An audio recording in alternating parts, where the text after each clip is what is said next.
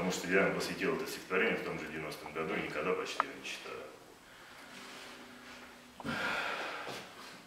Он помнил, небо раскаляясь, стекало оловом по соснам, и в семиствольник лета дослан был дня июньского заряд его, бродягу, и скитальца гоняла пьяная облава и добывалась из пальца вина по слову конократ. Он им по стойлам ночь стреножил, ломал капканы злых привычек, арканил вошь, хулил обычность и был безжалостно судим, и бередила день погожий, и свирепела толковища, мол, не напрасно пуля ищет того, кто не согласен с ним.